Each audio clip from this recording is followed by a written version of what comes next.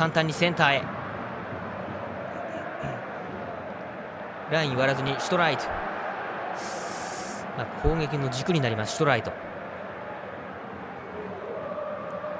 後ろから稲本。右サイドアマナティディス。中に入れた高原シュート、うん、決まりました。先制ゴール高原。後半11分過ぎ。